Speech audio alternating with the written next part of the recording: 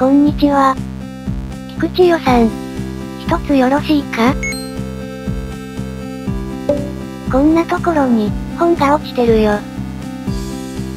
ペラリ。吉岡里帆かわいいよね。な。どん兵衛食べても出てこんね。